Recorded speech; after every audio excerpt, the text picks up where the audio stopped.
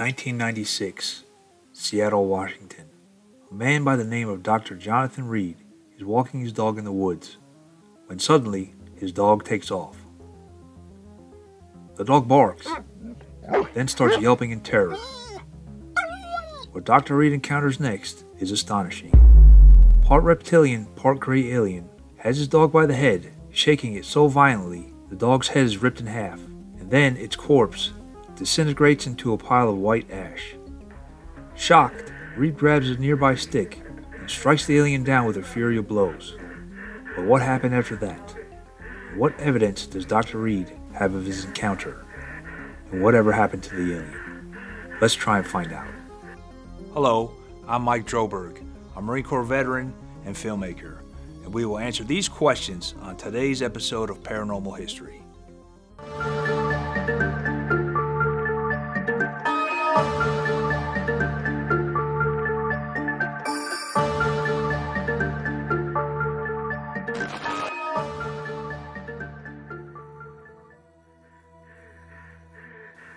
After his dog was killed, Reed struck the alien with a stick, killing it. He captured the alien creature on film and the creature's obelisk, which can be seen on the footage.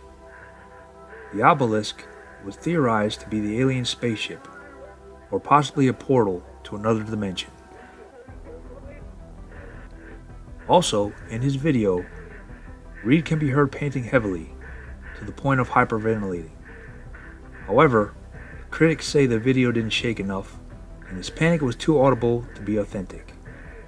What do you think? Reed then managed to take the alien home, where he made a video of investigating the four and a half foot tall alien being.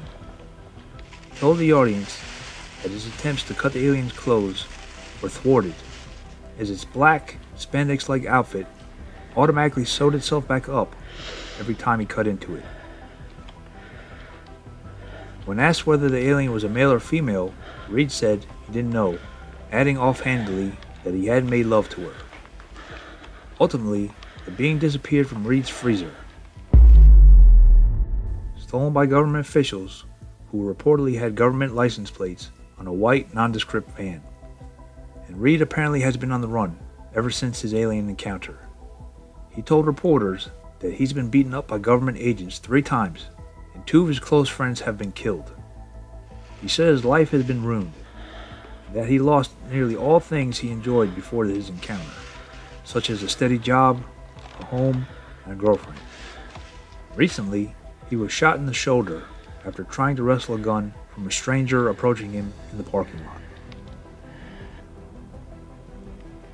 The controversial contactee also co authored a book called The Link which contends that mysterious agents are chasing Reed for technology that the alien wore on his wrist. Something like a transmitter receiver, this hieroglyphic engraved bracelet turned from silver to black when Reed clasped it on the alien's arm. It is believed that the wristband served as a tracking device that maintained a connection with the alien's 9 foot long, coffin like craft. Sean Atlante of San Diego is convinced that the government agents are hell bent upon torturing Reed to death by physical and psychic means. Dan Iaria of Indianapolis, having spent hours with Reed, contends that the purportedly haunted Reed demonstrates credibility and character as he tells his story. And finally, Dr. Heim, a remote viewing specialist from Colorado, told the audience that his colleague was able to remotely view the alien's craft with little prompting. Regardless what the experts say, skeptics argue that Reed's video comes across as having a little bit too much polish.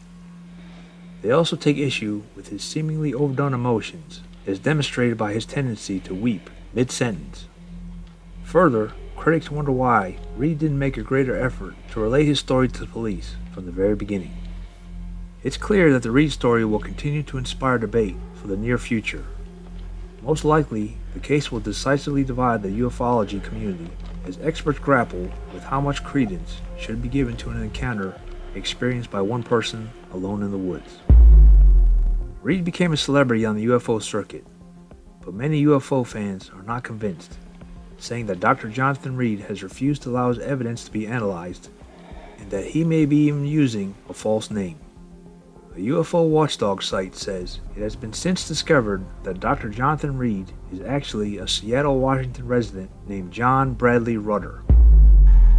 He has lived in Seattle, Washington the entire time he claimed to be on the run from evil government agents, and he isn't a doctor nor has a PhD, and has no college degrees for that matter. Furthermore, in a 2010 episode of the series Fact or Faked Paranormal Files, the Fact or Faked team was able to duplicate the entire Reed video nearly shot to shot. Since this did not entirely eliminate the authenticity of Reed's original footage, the team decided to do a voice stress test on Reed himself. The test ultimately proved that Reed was extremely deceptive about the incident. While these tests doesn't entirely prove it to be a hoax, all of the evidence points to fraud, and the alien research community has accepted that the Reed video was a fake. I asked my AI software to recreate the scene of Reed's alien encounter, well, as you can see for yourself, I don't think the AI believes him either. But what are your thoughts on the Reed incident? Government cover up or hoax? Let us know in the comments below. Thanks for watching Paranormal History. Please like, share, and subscribe. If you have any ideas for shows, please let us know in the comments below. We love to hear from you. Until next time.